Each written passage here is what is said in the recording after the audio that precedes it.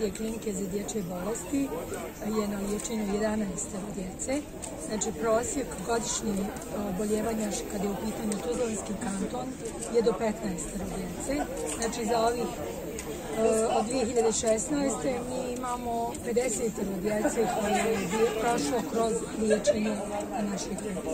To podrazumijevamo kemoterapiju, radioterapiju, upućivanje na transplantaciju, hiruške operacije, znači liječenje djece sa malignom bolešću je vrlo kompleksno, vrlo zahtjevno i zaista mi mislimo da, da za sada smo zadovoljni svojim rezultatima.